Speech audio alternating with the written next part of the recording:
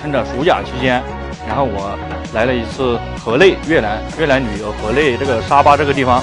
Khi mà đặt chân lên đến đỉnh Pha Xipang thì tôi cảm thấy rất là tuyệt vời.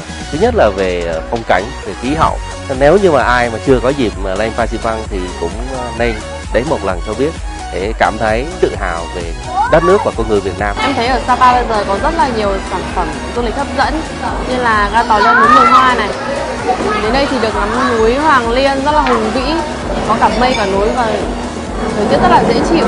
Vừa nãy xong thì em vừa mới xem xong đua ngựa, thế là cả hai chị em đói rồi thì vào ở bên nhà hàng hải cảng ăn và cảm thấy giá rất là hợp lý, chỉ 150 nghìn nhưng mà đồ ăn rất là vừa và đa dạng phong phú ạ. Sau khi ăn xong thì lát nữa có lẽ là hai chị em sẽ cùng nhau đi leo lên đỉnh núi Phan Xipang, chinh phục nóc nhà của Đông Dương.